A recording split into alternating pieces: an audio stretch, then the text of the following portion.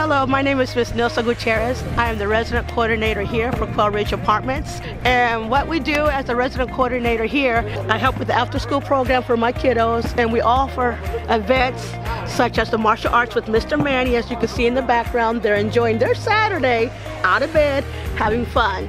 Well, today we did the very basics of uh, Shaolin Kung Fu, which I've done for at least 15 years.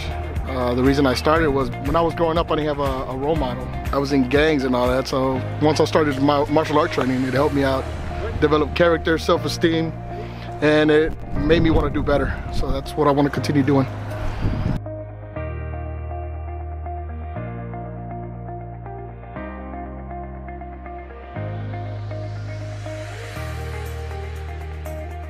Well, the reason I, I, don't charge is because a lot of people don't have money to pay for classes, and especially where we're at, uh, this side of town, a lot of people are barely making ends meet, and if I charge, they, they won't be able to afford it. They, they, they won't be able to come.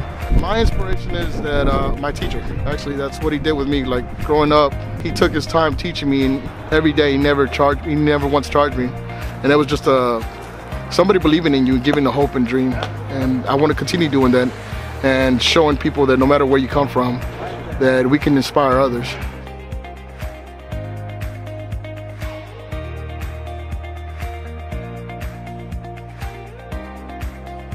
Well, we don't have a dojo. You know, I don't have a building where I teach martial arts. These kids show up to my house, and I have a big open field, and I teach them there. We don't have equipment. Every equipment that we have, like punching bags, gloves, boxing gloves, or anything, everything that I have is actually donated by somebody old or I bought or the kids has bought. I'm trying to make good the best of the situation with what I got.